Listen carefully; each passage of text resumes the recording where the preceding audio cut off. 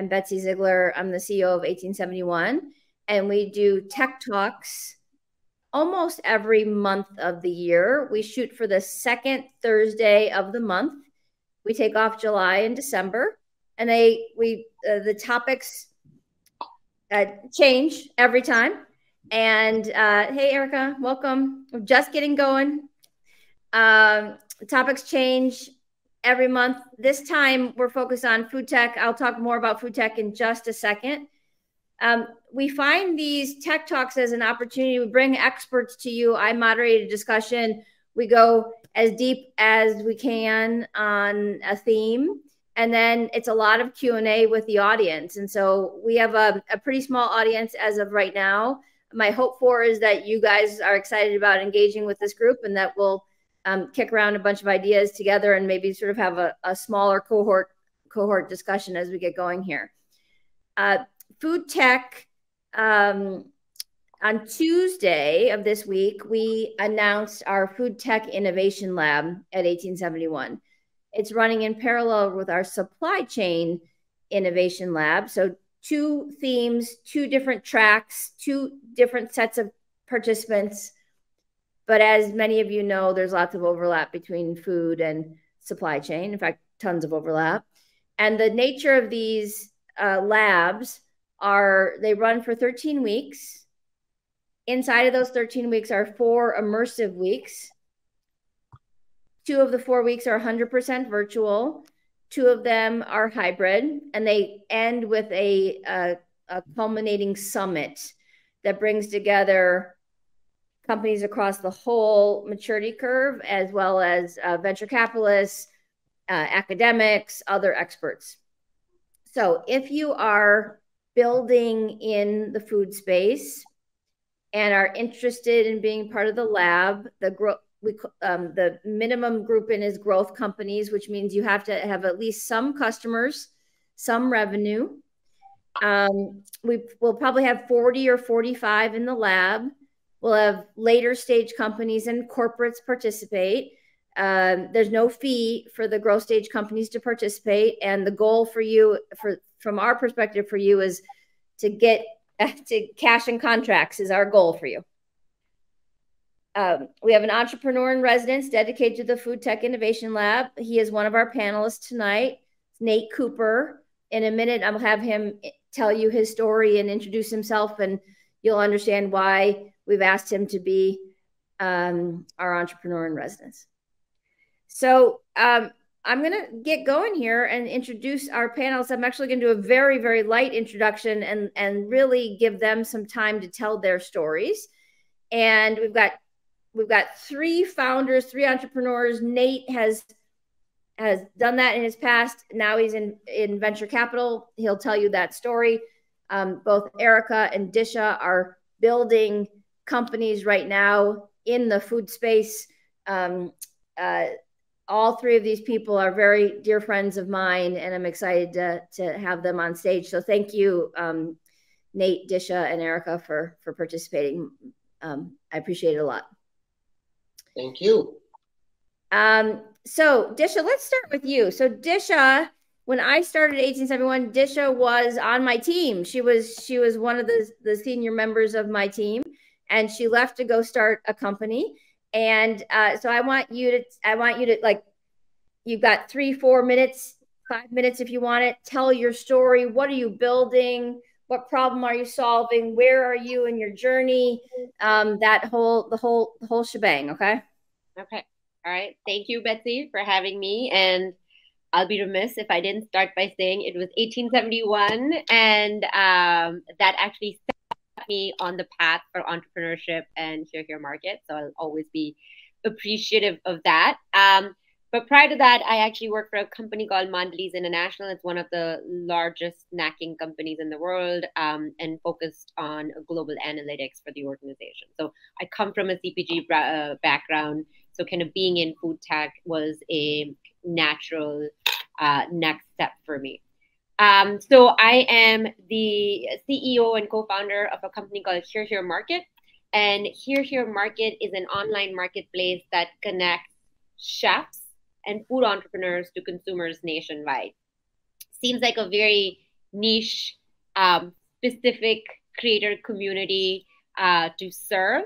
But there's a little bit of a story in terms of why um, we thought Here Here Market was the right marketplace uh, to connect what we call the culinary creator community with consumers nationwide. So when I left 1871, it was um, just a shade before the pandemic. Um, and I was working with a uh, large food distributor um, called Gordon Food Services on a very different business problem, which was to help restaurants with group dining. We launched our MVP in February of 2020. And then in March of 2020, the pandemic happened um, and group dining became illegal. Um, so the, the business uh, came to a grinding halt uh, literally overnight. Um, but in that time, we built a ton of relationship with restaurants that had signed up to for the MVP with us. And all of these restaurants, we all know this story, started to hustle um, and figure out how to diversify their revenue streams while dining room operations were closed. And a lot of these restaurants and chefs actually immediately got to work building incredible, incredible product. Um, and when I say product, I don't mean ready to eat meals. I mean, you know, shelf stable spices, pastas, snacks, granola, whatever have you building incredible product, but knew very little about how to take it directly to the consumer um, or how to build a retail presence around these amazing products that they were they were building. So that's why we built Here Here Market. Um, we wanted to amplify the talent and the uh, wonderful diversified products that these um, creators and chefs were building and connect them to not just their local audiences um, in their communities where they own restaurants, but to audiences nationwide. Um, so yeah, so that's a little bit about me and here here market. Look forward to chatting more about the, the before I before I transition, where are you? So tell us where you are today because you've made you know significant. You know, you've got lots of customers. You've got you know you've got real traction. Um, maybe just you, you mentioned a little bit, but can you kind of paint a picture for where you are today? Yeah, so we've been uh, since the pivot, we've been in market for 20 months. Um, and in that time, we have become the largest online marketplace for Chicago based culinary creators. We have 180 culinary creators on the platform who have launched 800 products with us. Wow. Um, and we have consumers nationwide. Um, I, when we initially started the marketplace, Betsy, we thought we were creating this hyper local marketplace where chefs in Chicago and consumers in Chicago wanted to connect with each other turns out Chicago has a, a, a, spectacular national reputation for food, and more than 50% of our sales actually are national. So wow. our consumers literally um, are come nationwide, but a lot of them come from small town America and suburbs where people don't have access to a Whole Foods or specialty stores or great restaurants. Yeah, awesome. Thanks, Disha. All right, next up, I want to introduce Erica. Erica Beth Levin is uh, she's a founder as well. She was she is the first female founder ever at 1871. 1871 is 11 years old, so Erica has that distinction. This is company number three, tech company number three, I think, right, Erica, if I'm not mistaken. Um, so can you welcome? Are you in Florida right now or are you in Chicago? Where are you? I am, I'm in Florida right this second, uh, but I'll be back in Chicago in, in two weeks. So in two weeks. Okay. Yeah.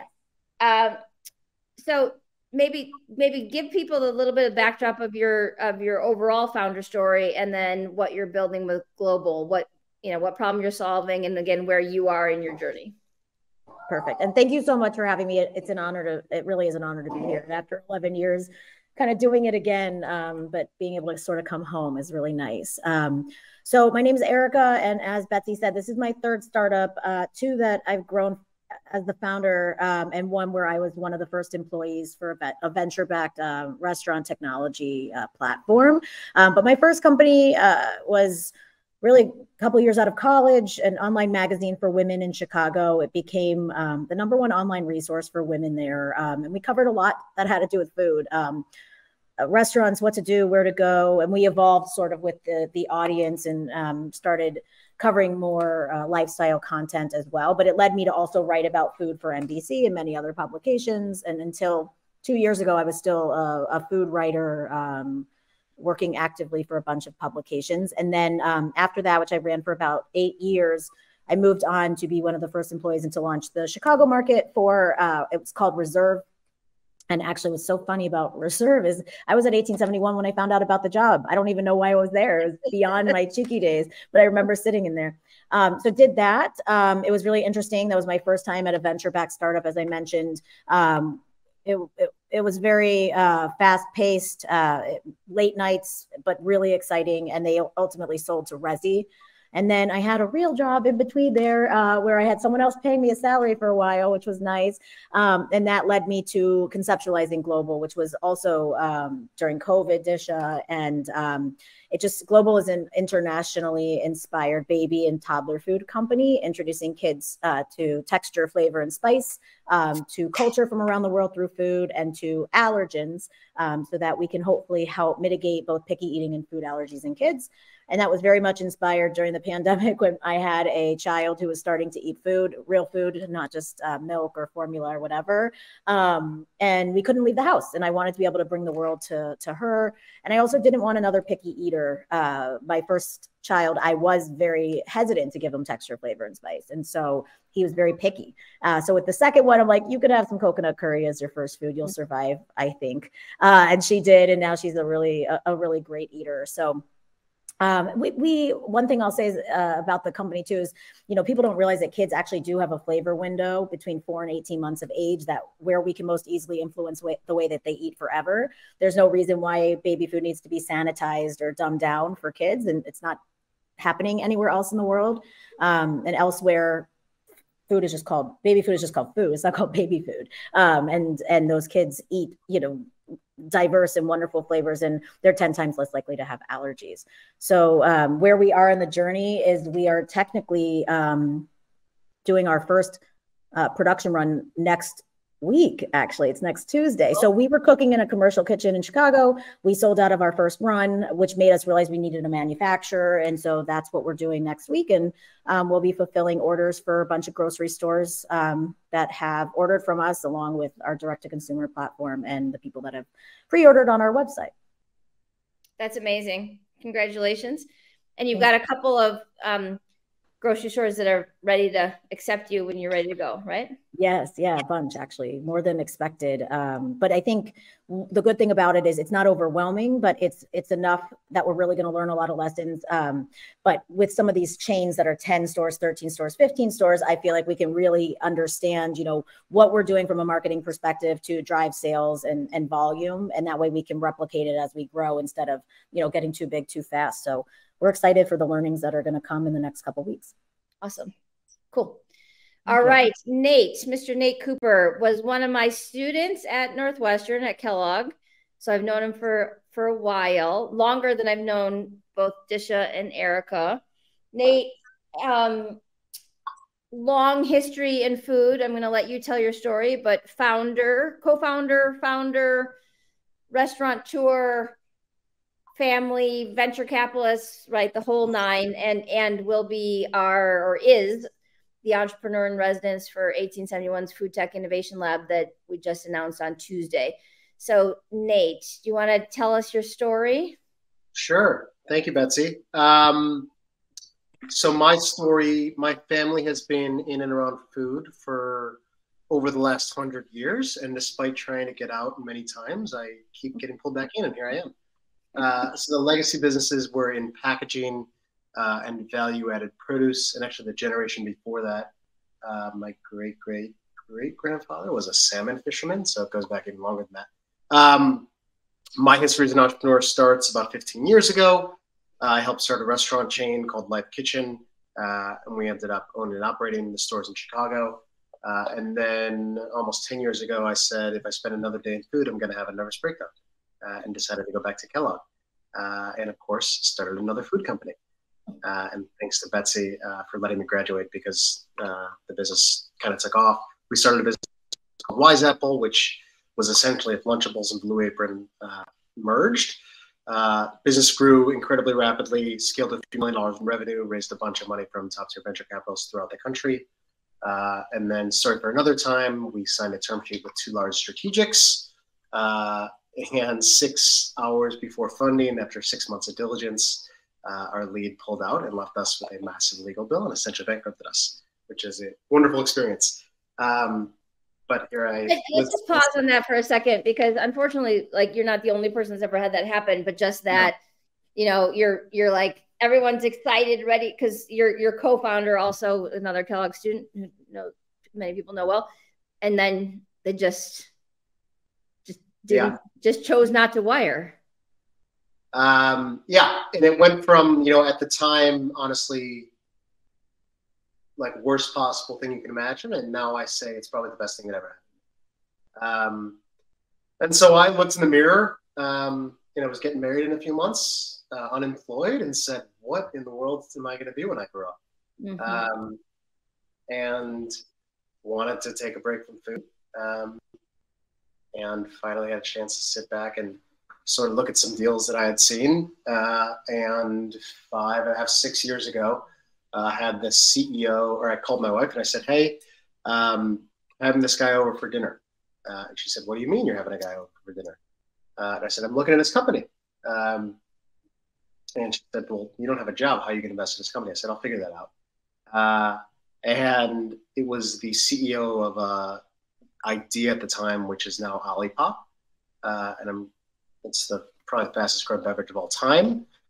Uh, and then started investing kind of full time um, and sort of became known as one of the guys in food. Uh, and so we've been fortunate to back a lot of incredibly impressive operators, entrepreneurs throughout the world in and around food, um, and raised a fund of close to $25 million uh, over the past year. Uh, all of our LPs, our executives, family offices, operators, kind of throughout the food industry. Um, and the way we sort of view the world is from a 10,000 foot view.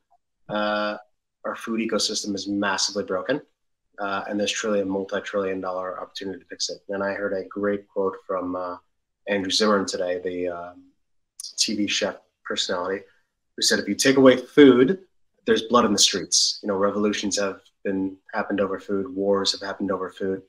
Uh, it is the one thing that every single human being on the planet interacts with at least three times a day, um, sometimes more, sometimes less. Uh, and it is truly, in my opinion, the most underfunded vertical in all of venture capital. Uh, and so I'm excited uh, to be doing what I'm doing. Yeah, very. Int- that I love it. Um, and it it's it's given the intros that we heard from Disha and Erica and where they are and their you know what they're trying to build with like and the, and the funding market right that is um sort of shines a, a different kind of spotlight on on the opportunity. Let's just stick for a second on on what venture in the food space looks like. Um, uh, Nate, you tweeted the other day that there was a. I, I'm probably going to get the tweet wrong. I don't have it in front of me, but something like a, a company with no product in market had like a hundred million dollar valuation or something. That was in the food space, right? But yeah, that, that's pretty. I mean, in, particularly in this point in time, you don't have to name the company, but like very rare, particularly in this window of time, but also in this in this vertical. Correct? Yeah. So, you know, the problem with you know venture is a world of a herd mentality, right? And so, if you look over the past five years, first it was crypto, then it was Web three and NFTs and you know now it's AI, right? And people get excited, the big funds get excited, they pour money into these companies, and then everyone else in venture has a lot of money to deploy, and they just start putting money into it. And with food, um, and if you're a founder and someone comes and says to you, "Hey, I'm going to give you twenty million dollars at a crazy valuation," you know, on paper you're then worth some obscene number, when in reality it really makes absolutely no sense. And I think what a lot of founders fail to realize is that these crazy valuations um, inevitably, while they're sweet and you know ego boosting, they cause a lot of these companies to fail. Um, and so, you know, there are companies that will call themselves food tech, right, and get some crazy valuation. Um, but in the reality, all they really are is they have an innovative recipe and they still have to sell a CPG product, right? Um, and if you can't sell that CPG product, this doesn't matter what technology you have. Um, you're still just a product and you need to sell that product to have a real business. And so I think um, a healthy sense of reality, you know, people in, in all businesses, I think, should try to build for, you know, non-billion dollar outcomes. Um, but especially in food and in, you know, CPG products, because it's really hard to build a CPG product. You know, it's even harder to build a food tech company. Um, and if you look at, there's a, you know, it's gone viral a few times. There's a market map of like the eight or nine different food companies that own all the CPG products in the country. Mm-hmm. Um, and these companies, most, you know, year for years and years, they came and acquiring companies earlier and earlier. And nowadays, you know, I talked to many of them and they said, we're only going to acquire products that have a path to a $300 million, you know, platform. Right. And so if you can't build that and they don't they don't see that then you have to become self-sufficient on your own and you can't rely on venture capital or an acquisition. And so getting to profitability earlier um, i think is more important now than it ever has been. So disha and erica as you listen to that does, does that resonate with you? Erica obviously you're building a, a cpg disha you're a marketplace um, that has certainly has product but you're a marketplace. Um, what what are your you, you've both been fundraising. You've both been in this, you know, tough time of in the market to uh, to raise. What are your any reactions uh, from your own personal experiences to what Nate just shared? I mean, I I can go. I think Nate's right. It's super hard to build a CPG product, and I believe what is broken for nascent CPG brands is the distribution channels. Um, and we went through this period, this seven to 10 year period where you could, if you put in enough um, venture capital, you could build a viral brand uh, from direct to consumer. Um, and you could hope to capitalize on that um, I believe that opportunity window has closed, and the jury's still out if those brands were ever really profitable. To Nate's point, um, they got big, uh, but perhaps not profitable. And when the venture money dried up, the, either the brands failed or they're now looking at traditional um, channels. Um, so I think Nate is, you know, uh, bang on in terms of building for profitability um, and not building for maybe hockey stick growth, which is what the VCs demand, um, especially in a kind of CPG space. Um, but that said, I think we still need to, and Erica can probably attest to this, like fix the distribution channels for for these nascent brands so they actually have a shot at building um, profitable small companies. Um, and that's kind of one of the reasons why we resonate so well with our chef and food entrepreneur community is because our distribute our distribution is cost effective and not cost prohibitive, which is what the typical channels are. But that said, we also have to brave the cold, you know, direct consumer winter that that we're in right now, where cost of acquisition has gone up tremendously. Mm-hmm circle back on the theme of distribution in a second, but Erica, uh, anything else you want to add? Uh, I was just going to say, I think my, you know, I've, this isn't my first rodeo, I guess, in business, but it is with CPG. And so um, I've surrounded myself with some really strong advisors that have either done this before, um, for a startup or for major corporations. And the way I've been advised and what I've been working towards is, as Nate mentioned, profitability, but also just really good margins from the get go. How can I increase those? How can I um, just set up my plan to know we're going in that right direction because otherwise nothing else really i mean it really doesn't matter. Um, i don't know at what point we'll hit profitability but we're, we're working at that top line revenue. Um, and that's why i think for us like geographically um, launching and seeing how plans go in each of these kind of smaller test markets uh, is is a helpful helpful strategy. And one thing i'd say to disha too about the cost effectiveness when i was with reserve um, we were going up against OpenTable. I mean, our job was to try to take down OpenTable. Um, it, it, did not happen. Um, but ultimately, you know, OpenTable costs a lot of money. Um, it costs a dollar. Most people that book on OpenTable don't realize it costs everyone $1 a reservation per person. So your table of four costs that restaurant four dollars, and that ta- that 350 people that you sat that night cost 350. Um, and if you take advantage of that uh, prime time tables, it's even more. It's like seven dollars a person. So we went in with that same uh, goal, right, to be operator friendly, restaurateur friendly, um, and ultimately provide a better product that was more cost effective. Um, so I, that strategy, I mean, it, it, definitely helped. We were able to sign up some of the top tier restaurants, but we were never able to get um, those really small restaurants or any of those chains. It just never happened for us. Um, so anyway, just wanted to talk to Disha's uh, statement yeah. about kind of being more operator friendly and, and providing, you know, options.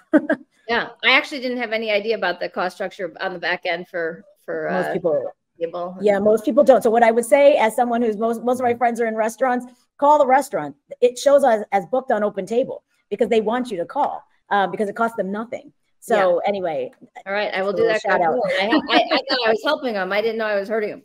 No, um, no. So on this theme of distribution, uh, what when when and Nate, you talked about it, and and just you talked about it, um, and Eric a little bit. Like, what does fixing distribution mean? Like, what what is the if you if you were to paint a picture of an ideal end state, what would it what would it look like? So I can talk here. Um, in the world of natural products, it's sort of a two-sided marketplace where there's the distributors and the retailers. And on the distributors, there's historically been two options, right? There's whole, there's UNFI and KeHE. Uh, and I'm going to try not to name anyone who poked the alligator in the eye. Yeah. And then yeah. the retailers, you know, there's the foods, the um, Fresh Thymes, the Sprouts, it's you know Wegmans, Erewhon, et cetera, et cetera. Um, and in the middle, you have these emerging brands. And to Disha's point, the way the distribution model has historically been set up is, you know, these massive um, distribution partners, the bigger they get, the more that they cannot profit off of these small brands. And so what that results in is chargebacks uh, and dispute resolutions and things like that. And it's gotten to the point where I am looking at a company right now whose go-to-market strategy is dispute resolution management because these companies literally hire an entire person, at least one, a lot of these companies, to dispute, you know, to manage their dispute resolution, right? And two hundred million dollar companies do it all on Excel and phone. And I was talking to a friend yesterday who runs a nearly hundred million dollar brand, um, and you know they launched a new product line in one of the top three or four retailers of the United States. And I said, "How's it going?" And he says, it's going great. But the problem is we're in like, we've been in a six month fight with them over disputes. And so we're not doing anything new because like it's a, he said, she said, you know, classic duel. And so because of this whole problem, we invested in a company that was in, started in Chicago a few years back called Pod Foods, which has had a bunch of success, which sure. helps emerging brands um, launch with sort of, um, you know, these emerging retailers. The problem is you know, at the end of the day, it's a brick and mortar distribution logistics business, and there's nothing harder to build. And despite all the success they had, they're going against, you know, these 800 pound gorillas in the room. Um, and so that, in my opinion, is what's broken about this distribution world. Um, Bishop, you can probably. Yeah, I'd like to hear from the other folks, and then I would like to get to some sense of like, okay, if it were like what what would it take to fix it? But before we get to what will it take to fix it, Disha and Erica, anything else you'd add on like the context of the distribution problem at hand? I can speak to it, uh, Nate, as well because of the um, requiring distributors really to to get into any of these grocery stores that we want to, even some of the smaller ones. One of one of our um, new stores only has a couple locations but are requiring us i can't even go in my car and drop it off right so i'm required to spend you know a part a good chunk of that margin on the distributor uh, one they're clunky and very hard to onboard with. Uh, and nate this is my personal experience with KeHE, right and, and unfi not pod but um, it, it's it's a complicated process. It's a lengthy process, and they take a good chunk of money.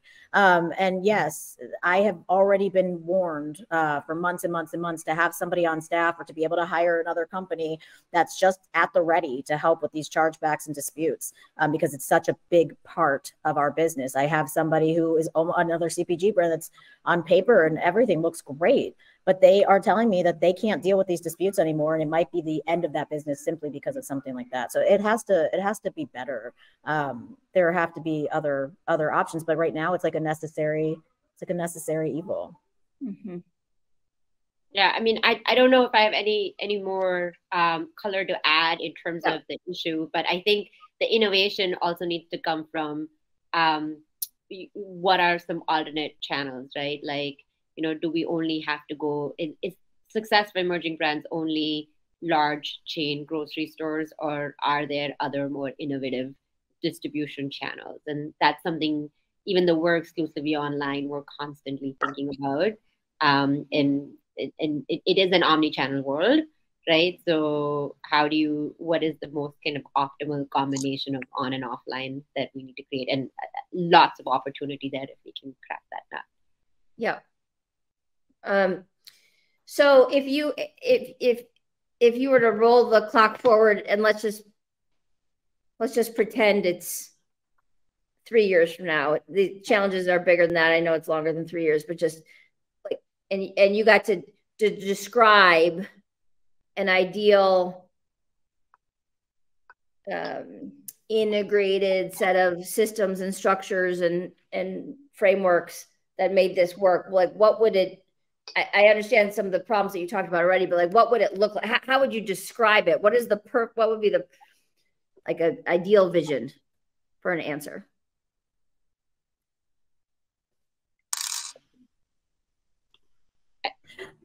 I mean, distribution would be less expensive, right? That's that's the that's the like the headlines, right? Why is it so expensive to get? And and here's the the funny part, Betsy, is that um small and emerging brands or brands that that have done less than a hundred million dollars, less than a billion dollars, they're called like hyper small CPG um, brand category, have grown two times the size of a Mondelez or a Kraft Heinz or whatever else. So there is a demand for it, a demand that far exceeds the demand for Oreos and you know mac and cheese and, and, and things like that. And and consumers want, and this is you know Erica's kind of thesis as well. Consumers want it, but there is a a some cost-effective platform. Oh, HereHere Market is is missing to convene the the the supply and demand, right? So, and that innovation can take many many different um, uh, forms. And and to me, like what I was saying, what's exciting for me is I think we can find the consumer outside the grocery store as well. Yeah. It's about where where they're living, where they're playing. It doesn't have to be like it, it can't just be a zero sum game between grocery store or online. I see what you're saying. So you're so you're so when I say like how to fix it, you're saying there's the there is the, the like the the big pipe that goes into the grocery store. Yeah. We need many ultimate alternate pipes. You call them alternate channels. I, I'm trying to visualize yeah. the same thing to reach people that allow the consumer to get exposure and access to new and interesting things that they might be energized by at a an appropriate cost that also doesn't overwhelm the cost structure of the yeah. of the producer. Yeah. And the consumer by the way is willing to pay a premium right for these um, niche brands. Um, it's just a matter of finding the the right product for the right consumer. It has to be done at a national level because when these brands are hyper local, it's the the audience that is not large enough. My two cents. Yeah. I'm I'm I don't know if I'm less optimistic about this this issue, but like I totally agree with it that you need the, the only way it's going to change is if the retailers and distributors businesses legacy businesses are threatened because it's almost this mafia type business where you have this pay to play you know, shelf stocking fees if you don't pay me immediately, you know, fifteen, twenty-five thousand dollars per shelf per SKU, uh, and then they don't have to pay you for sixty days. And like the brands are, their hands are tied behind their back and one eye is closed, right? And it's just until their business is threatened, they're not going to change the way they operate. Yep. Yeah, nothing. Um, nothing is in favor of the brand, right? Absolutely nothing when it comes to working with distributors, right? We need them. They seemingly don't need us, but they actually do. If we all went on strike, they'd have nothing to sell. Um, but but it's it is really interesting, and it kind of is akin to my story about OpenTable. Restaurants feel like they need OpenTable because of the marketing value you know that it provides like oh if you can't find me on OpenTable you're not going to go right you can't find me in, in on k on KeHE.com or you know or whatever the back end is I don't have a brand, right? Whole Foods doesn't know about me, or Erewhon, or whatever doesn't know. Um, so it's it's definitely um, set up to feel like a requirement, but it's not a it's not friendly for the for the brand. And so to go back to Dish's point, like it should be less expensive, it should be more convenient, it should be less clunky. Um, it, it should just be made easier because, quite frankly, without the CPG brands or whatever brand it is, stores don't. I mean, they don't exist. So to make it friendlier for all would would feel pretty nice. Yeah. Uh, great, awesome. Thank you for that. I want to change gears a little bit, and I want to I want to talk about so um, your own companies notwithstanding, right? So like I want to talk about what you're what things that you're seeing from a innovation lens in food. So not here here and not global for a moment just for a moment, put them to the side. Um, what are the most interesting, most exciting things you're seeing that that uh, on anything? It could be an actual product. It could be about the, the chargeback process. It could be, you know, what's what's uh, what do you say? Wow, that's a gonna be really important, really interesting. For for me, it's it's truly the food innovation. We're starting to see um, modified diets have started to become more mainstream than ever before, like gluten free and keto and low FODMAP or whatever were very fringe concepts, maybe even five, seven years ago. Yeah. Um, but the consumer is getting very hyper focused on what's on the label, um, what their kind of relationship with food is. And it, it is really interesting to see the innovation that's happening in this food as medicine and you know kind of diet tribers whatever you want to call them. There's so many terms out there.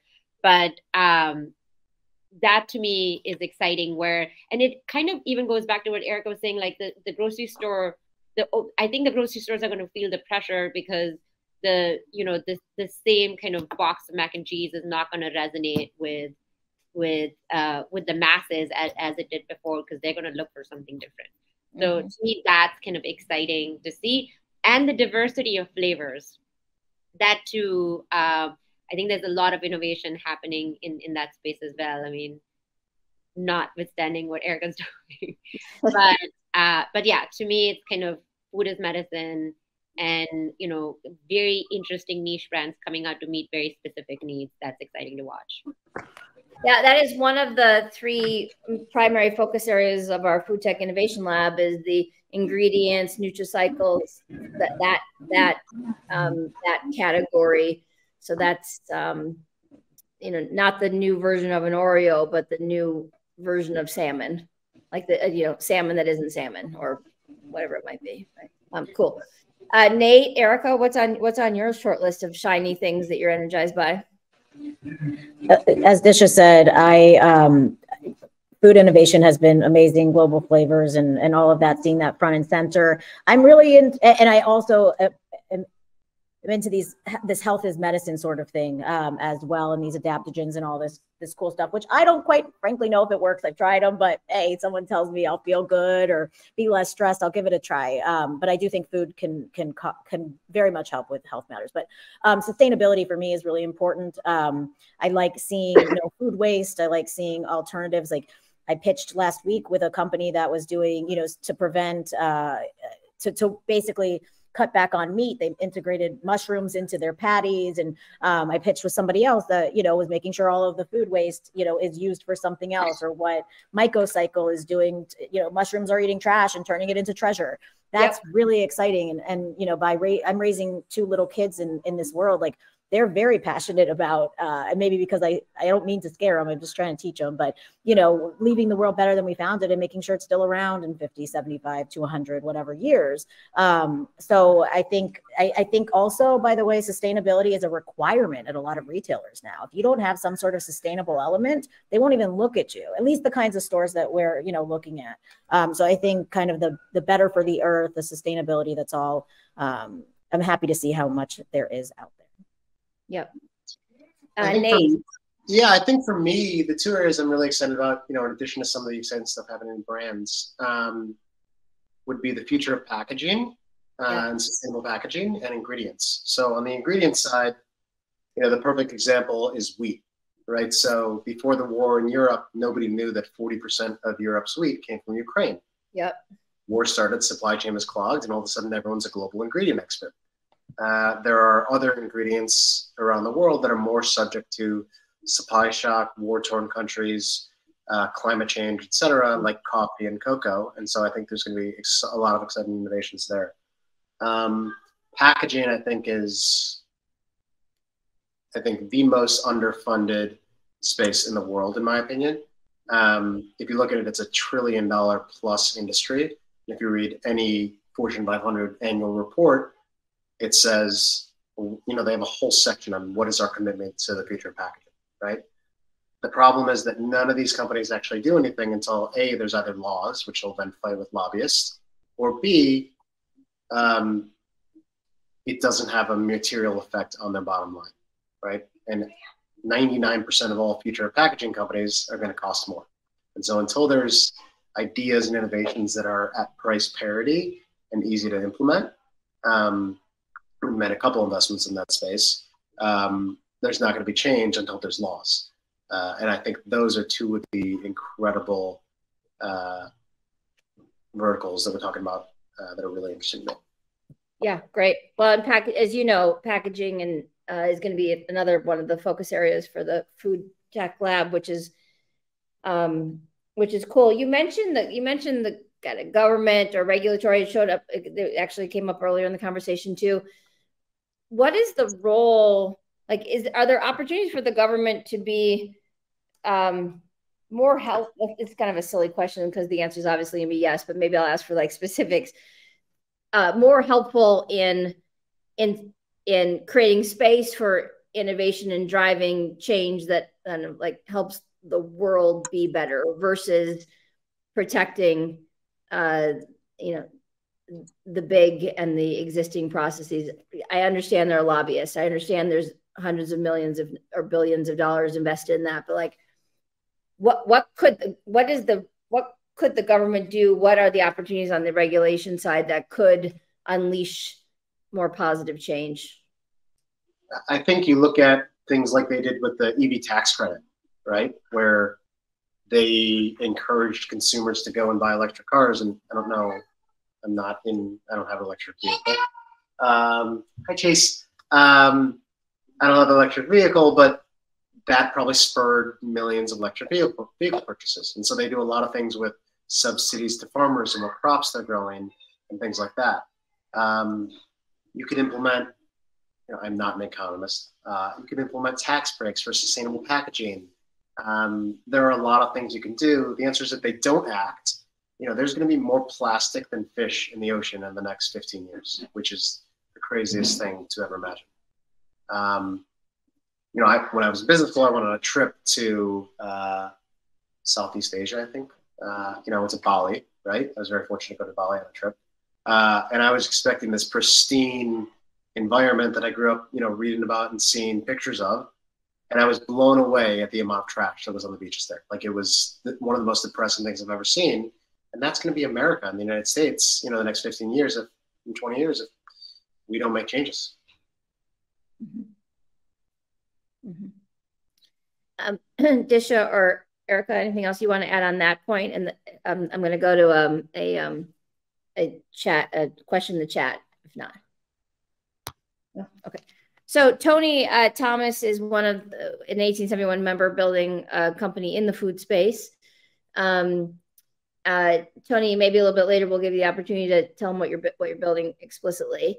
But his question in the chat is about changing the environment. He says, "We hear there's a move towards value brands in terms of consumer demand. How does that play out for the very crowded premium market in the midterm future?" Um, and then he says, "Labeling is a big part of that also."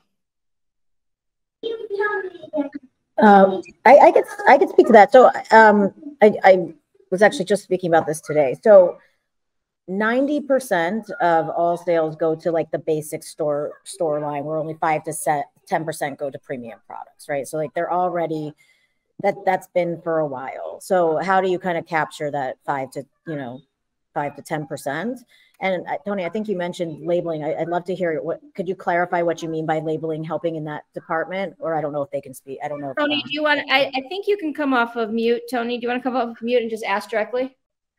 Sure. Sorry, uh, sorry. That was a comment to Nate's last uh, point when we were talking oh. about how oh. the how the government can affect it. You know, labeling, particularly oh, oh, oh in terms of greenwashing and all those kind of things. Uh, the FDA has a has a hand in that as well. So sorry, that was the comment. No, no, that's okay. Thank you for clarifying. Um, no, I so so anyway, only five to ten percent go to the premium brands. However, there's still a market for those premium brands. Frontera, you know, just sold for what almost two hundred million dollars. It's a premium brand, and they were going up against what is it, Pace and Tostitos and things like that.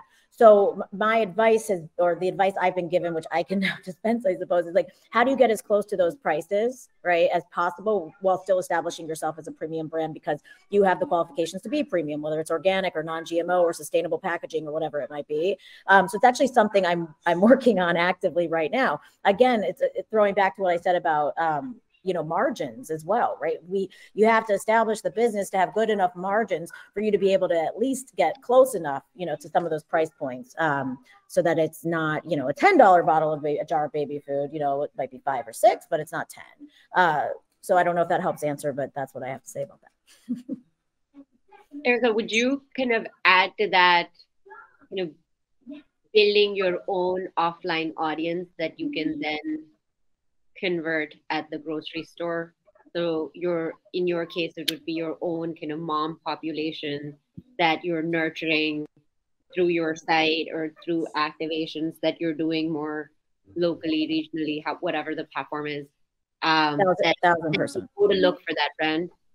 Yeah, a thousand percent. I mean, I could go on and on, and I, I will try not to, but you know, basically establishing ourselves everywhere that a parent already trusts to shop, right? If they have a trust with their corner bodega, their corner specialty store, the coffee shop, or whatever it might be, you know, how do we establish ourselves there so that you know they already trust that that store, that retailer is, you know, giving them, um, you know, good options. Uh, obviously, growing our online community. I was talking to a VC um, a couple years ago um, about how one of the, ba- the uh, a baby food company out there with a very high valuation has built a sense of community on their website, right? So it's not just going to the site for food, but it's going to the site um, for a sense of community and to go to a brand that's now establishing themselves as some sort of parental experts in other in other topics, not just food. And I think you know that sense of community uh, is really important. And how do you build that? And you know, there's many many different ways, and you could many marketers will tell you many different ways to do that. But I agree, if you can get them, you catch them before they get on into the store. Although there is something to be said about someone just pulling it off the shelf. Um, but if you can get them before that point it's it's it's a really good thing. And that's actually exactly what we're trying to do by by launching geographically and getting into all these stores that people trust or being on HereHere Market where people are going for more premium products more small batch products uh, locally made and things like that.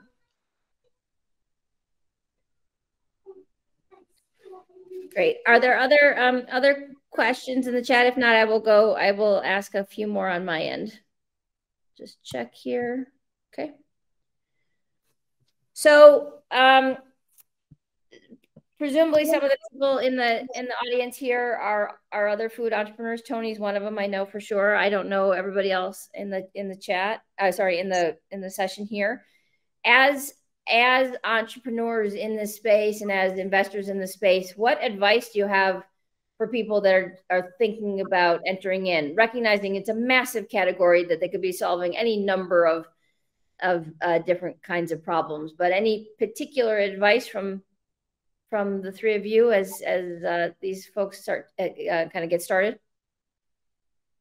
I'll give some high level blanket advice. Um, this is kind of what I tell all entrepreneurs, regardless of what you're selling or building.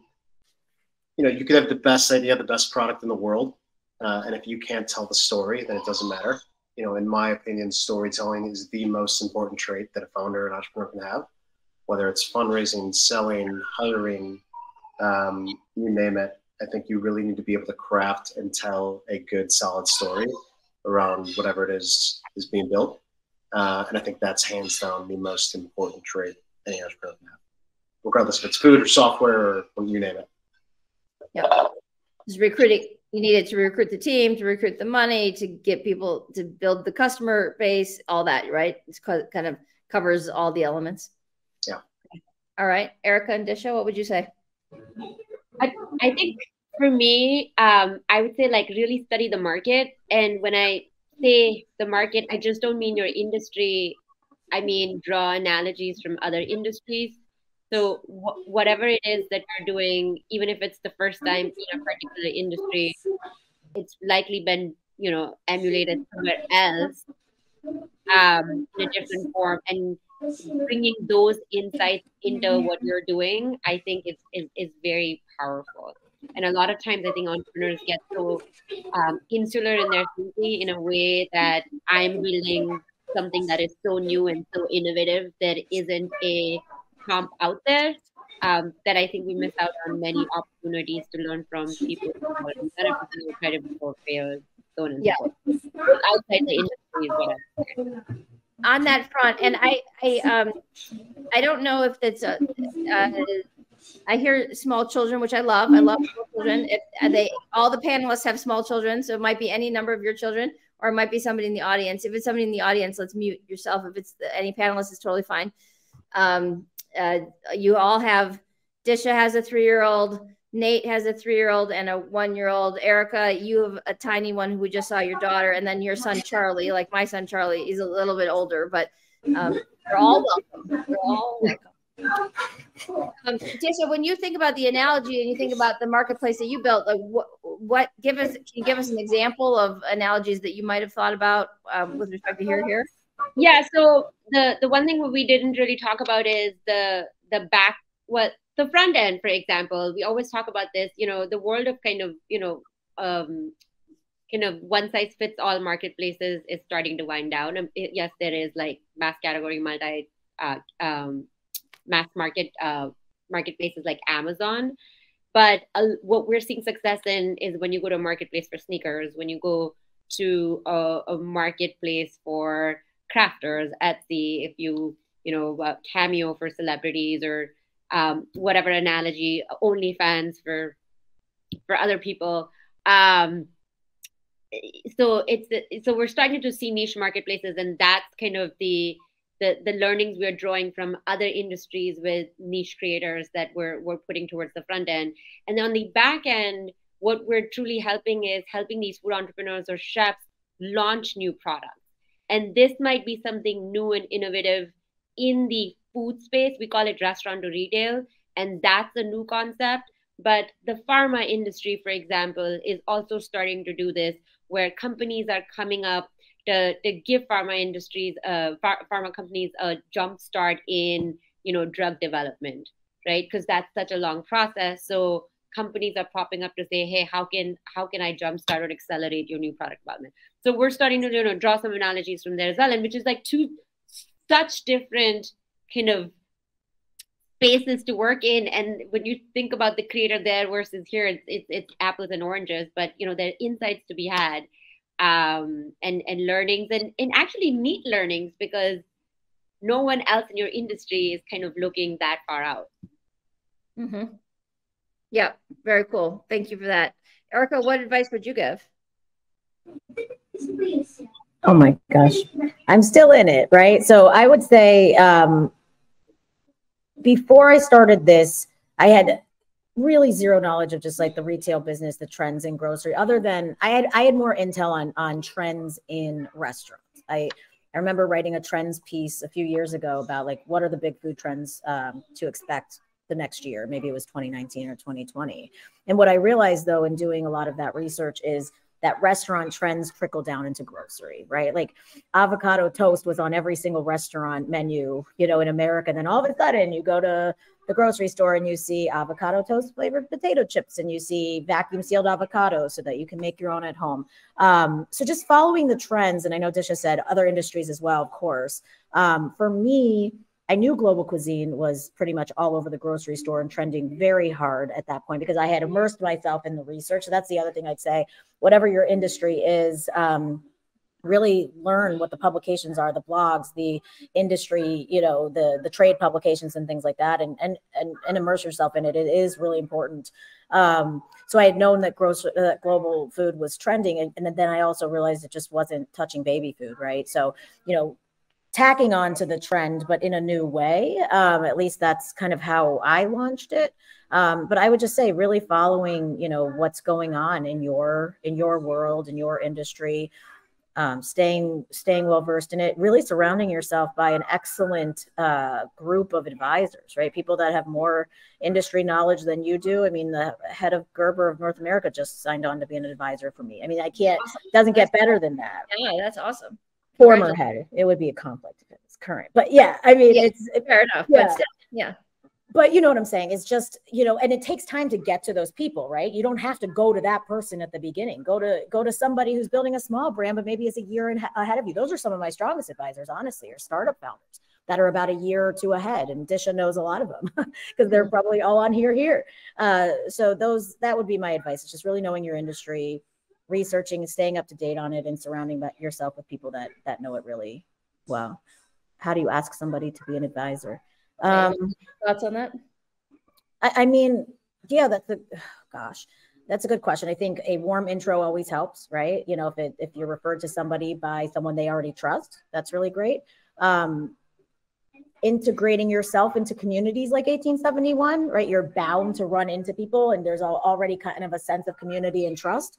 Um, I went through the TechStars program. Uh, people ask me why after being on my third startup, and you know, and I I tell everyone now I learned more in 13 weeks than I did in 13 years, and I thought I had a strong network just being in this business for a long time but it was nothing comparative to what I have through Techstars. So, you know, join these groups, join these organizations, um, get those warm intros from someone that advisor already trusts. And then they have to buy into what you're doing and to you as a founder as well. Um, so, really build and nurture that uh, relationship.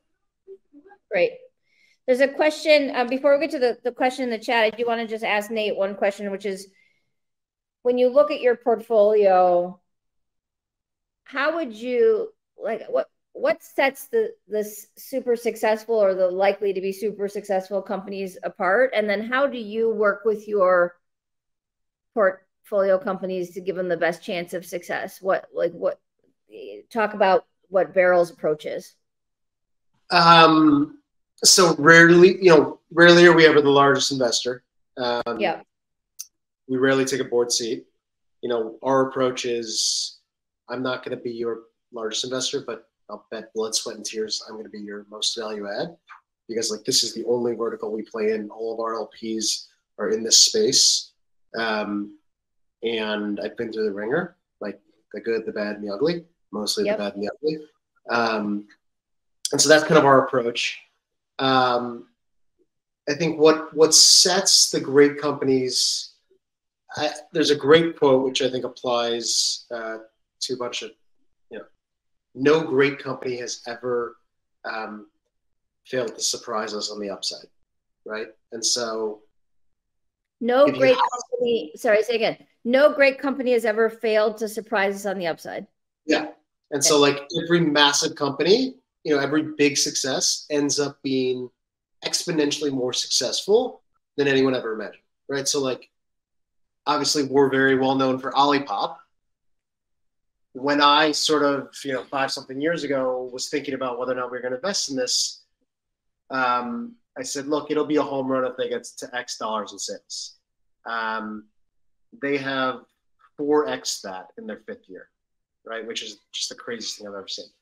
I think, you know, that and some of the others in our portfolio, it helps when you're going after a big market, right? Um, it helps when you're. It's easier to go after a big market or to make a twist on a big market than to create a new market. Um, if you can decrease the friction around something uh, and make a painful process or product easier, or make something that people enjoy a lot better for them, right? If you look at a, look at Uber, look at Google, look at all these companies, right? Uber is literally just a taxi business, right? And they made it easier for people. Olipop is a soda business, right? And they're making something that people love that they kind of hate to love, but they're addicted to, better for them, right? Um, Starbucks just kind of up the experience on coffee. You know, a lot of the successful businesses throughout time are making one small step change to make an experience or a product have less friction, better for you, a better experience. You know, very few products create new industries. Um, most very successful businesses are like a small twist and making a product sort of one degree higher. And that unlock is what makes these products have just this escape velocity. Mm-hmm. Can I tack on to something Nate just said? And it's it's slightly a different a different direction, but you mentioned the um, Uber, right? It's no more than a taxi service, right? Now, also going back to Tony's question about the premium brands, right? Uber launched as a premium brand it was a black car service, right? It was not for everyone. And what they did was they proved they had proof of concept, right? They had enough people that could do that. So imagine what they could do if they went a little downstream. And I think the same can be said for premium CPG products. You know, I don't, I don't know, right? There's margins involved. There's lots of other things, but I, I just think that was an interesting example, um, given Tony's question about the the premium and how can yeah. you how can you start somewhere, but then have mass, you know, have mass market appeal. Yeah, yeah. I, on Olipop, it, I, I don't know if you saw. I don't know where my Twitter feed comes from anymore because it's all different people than I normally follow. But whatever. That put that aside for a second. There was a story somebody posted on Olipop. They were trying to take three cans through the TSA. Did you see this, Nate? Canada, yeah. Yeah, in Canada. Yeah. Can I take? And then yesterday, they announced that they were selling on Amazon in Canada. Yeah yeah, it's just funny. Like, you know, I need to take it in my carry-on, which of course doesn't work. All right. Um, okay, we've got a couple questions in the chat. Let's go to the first one from Abigail, who uh, is at United Airlines. Um, I think she had to leave a little bit earlier. I think she she uh, signed off, but she shared it with my team. What is the aspect of AI in food tech that you believe can be scaled globally? Maybe it's what is an aspect of AI. Thoughts on that? I mean, there's so many use cases. I don't know if there is an aspect. Yeah. Um, you know, with one example to to share with you all that we've been looking into with generative AI is um, generating product labels. Mm-hmm. Um, you know, there's enough tech. Like currently, the way it's done is very, very uh, human capital intensive sit with a with a designer you think through your brand voice you think through you know kind of what the look and feel should be they come back with options you pick a few and you know the, the process is long and iterative um, there is technology starting uh, to emerge out there around labeling where you put in the attributes and it kind of spits out um, a few options and honestly for an emerging brand that doesn't have resources to to truly go down a very intense you know brand development exercise, this is a great alternative.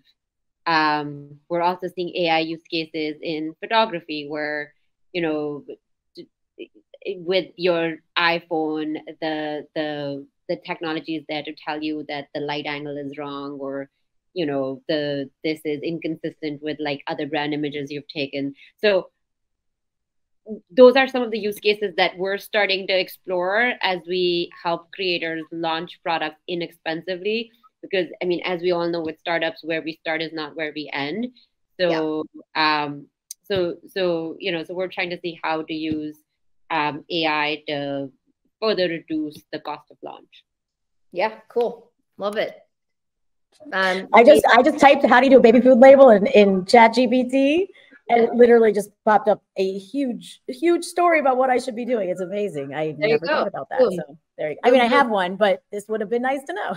yeah, good. All right. Um, here's a question from uh, one of my colleagues, actually, at 1871, which is uh, Erica has pointed pointed to you, um, Nate and and Disha. Though you work with um, uh, probably maybe Disha you more, just the the different uh, products you put on the, the platform and how to how to help people kind of steer towards themes that they care about. But Erica, um, how do you decide which cultures to feature in your meals, and what kind of research or development process do you go through to create your recipes?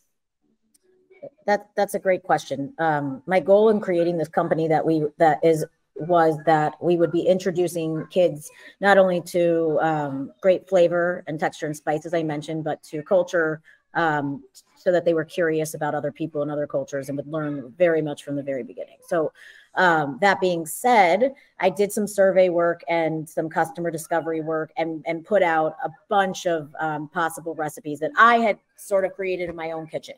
And I said, These taste really good to me and my children um, and some of my friends' kids. So let me put this out there and ask for their top their top choices. So that's how we got the first four, which is a pad thai for tots, a, a tikka masala, a medi bowl, which is like a Mediterranean bowl, and then um, like a Latin bean bowl, which is sort of like a chili. Um, however, I realized to make these authentic, right, and to really showcase the world and to really, you know, um, tell the story of these delicious foods and wonderful cultures was to make sure they were authentic, um, not just a nice Jewish girl in her kitchen, you know, making veggie tikka masala, right? Um, and so I brought on a chef advisory board of, of some well-known chefs, some not that well-known, but very good at their jobs, um, and asked them to authenticate the recipes and to make sure that they taste right and that they're authentic to the roots. Uh, and as we continue to grow new SKUs, like we're working on an exclusive line for a very large natural retailer, um, I did the same sort of research. You know, these are these are some of the 15 or so recipes that we've come up with that we think taste really nice. Um, what do you guys think? And then we were able to um, distill it down to uh, three. But to answer that question, I work with people that actually know the food better than I do um, and they are putting their names to this brand because they actually do believe that the food represents their culture. Great. Awesome. Oh, thank you. oh my God. Um, Disha, you, you know, when you go on your platform, you can you can buy um, products that are grouped by themes. How are you? How are you thinking about putting those different packaging options together? Yeah, I mean, we uh, we come at it more from an analytics perspective, um, which is what is search traffic look, looking like? Like, what are people actually looking for online? Um, how can we harvest that demand? Um, you know, we are a little more strategic in terms of like what of that demand we can harvest because you know some of it is very expensive to, to go after. So we actually make recommendations to our creators based on some of that analysis, some of sales data, and then what Erica was talking about a little earlier too.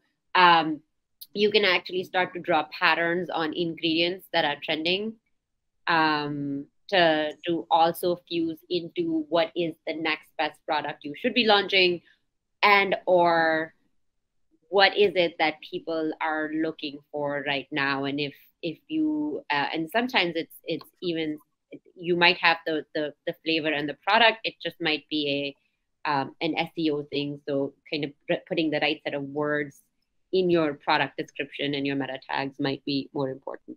So uh, we don't come uh, the, the for us if our creators on the platform good flavors is table stakes. Now the question is how do we make sure those flavors match with the people who are, who are looking for it? Mm-hmm. great all right. I don't see any other questions in the chat. I have one to close every, every off, but if anyone else has a question, you feel free to come off mute and ask it. Um, I know this goes until six, but if there are questions, we don't need to. Uh, let's see. Anybody? Tony, why don't you just tell them quickly what you're building just so they know since they have some connection to you? Um, and Philip, then I, you, Tony, you do your thing, and then Philip, I'll answer your question.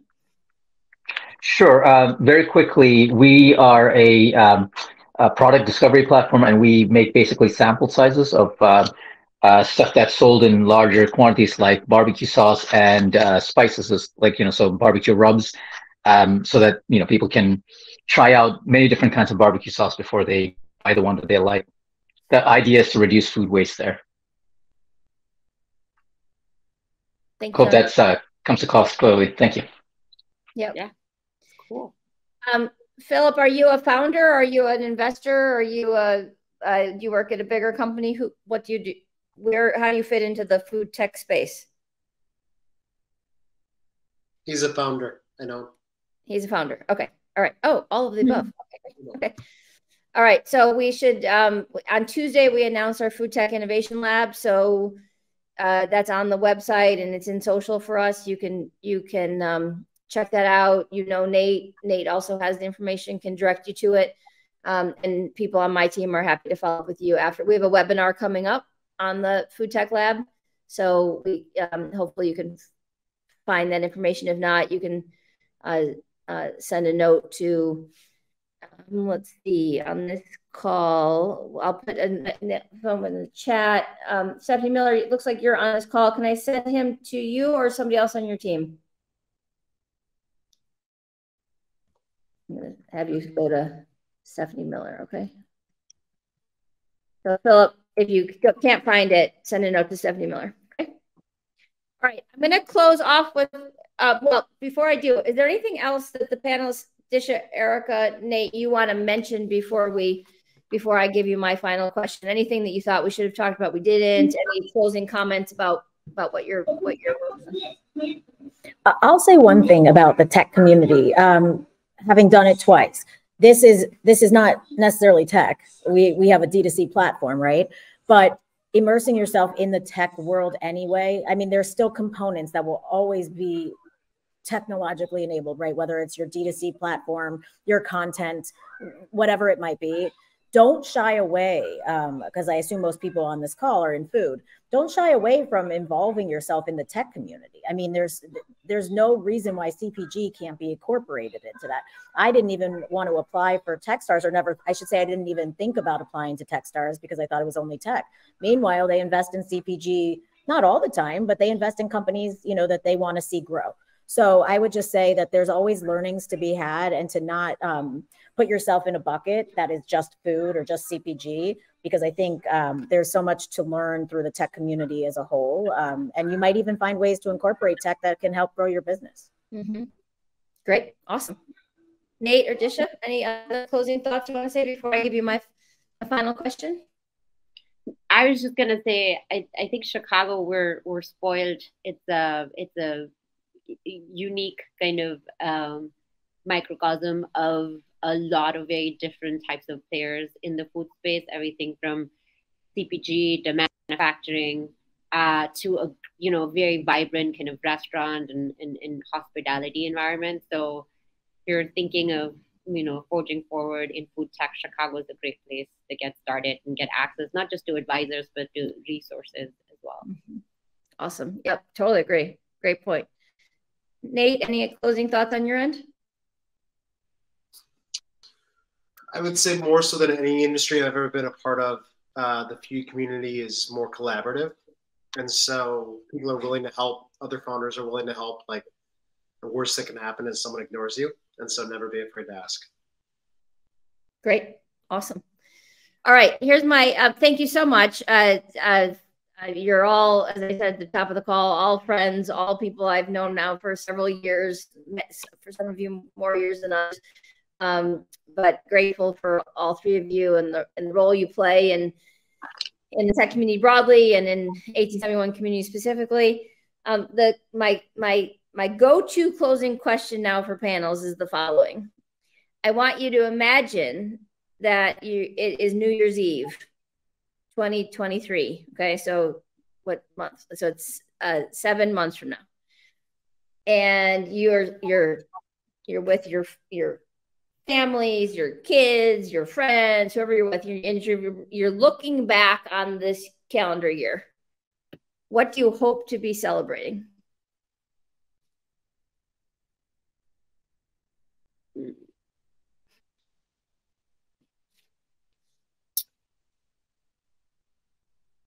With this environment to stay another year in business, but uh, but I mean, I I would say for for us to to Nate's point earlier, not just grow, but grow on a path to, to profitability. That that is what I would truly like to, to celebrate. Awesome. All right. Erica? Uh, whew. From concept to store has will probably be about two years.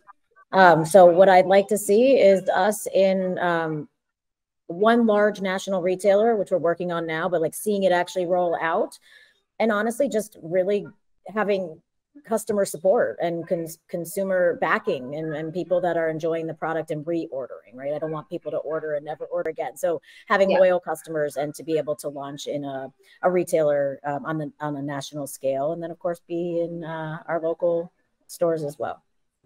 Awesome. Okay. Nate close us out.